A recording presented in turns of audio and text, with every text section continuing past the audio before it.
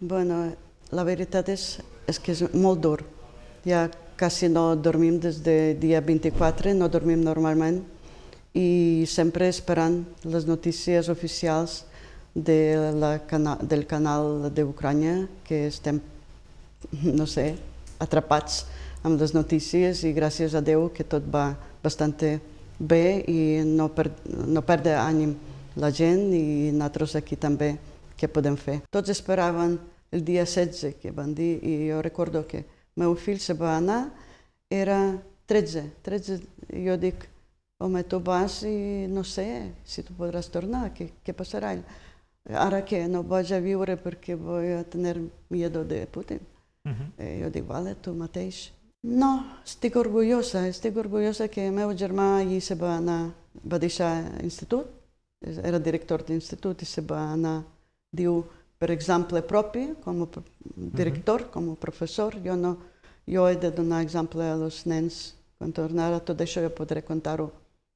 Ell estava en la revolució, s'ha de dir que sempre hi va lluitar a la primera fila i en la revolució aquesta de, de, de 2013-14 ell estava en aquell moment quan mataven aquestes 100 persones que uh -huh. el seu amic se va morir i era sort que, que ell està viu, no? Per això, sí, Claro, sempre n'hi ha por, no?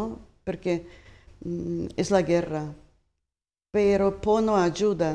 La veritat és que una persona loca pot fer molt de mal.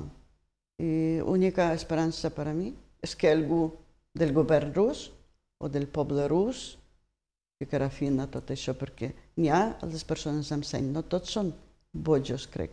Putin no patirà d'aquestes accions, patirà el poble rus. Mm però millor se despertaran. Entens, no? Perquè ara tenen por. Però jo crec que aquestes mesures d'Europa, que gràcies que al final Europa també se desperta, el poble rus se desperta també i ells podrien fer alguna cosa. No, no m'imaginava que un rus pot disparar a un ucraïnès, és com disparar al teu germà, o...